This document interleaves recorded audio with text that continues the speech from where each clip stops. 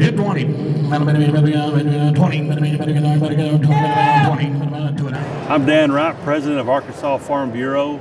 Here we are at the Arkansas State Fair. This is the time of year that we really enjoy coming here.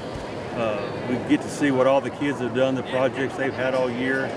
This is their payoff. This is their reward.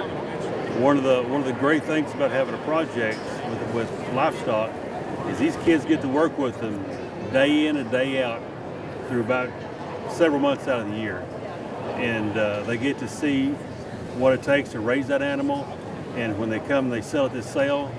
That's their payoff. That's that's where they realize all their work has been for something good. And we're just really proud with Arkansas Farm Bureau to be a big part of this. We've been here every year, and it's one of the highlights of our year. We've been here all week. Our staff have been here. We've had uh, refreshments for ag teachers and those in the, in the livestock barns. We've had staff doing different things, working with uh, shows, uh, handing out awards. We do that because we care about the youth of Arkansas. We care about the agriculture part of, of what they do, and this is this is just who we are. We're Farm Bureau, and we stand behind these kids every step of the way, especially at the Arkansas State Fair.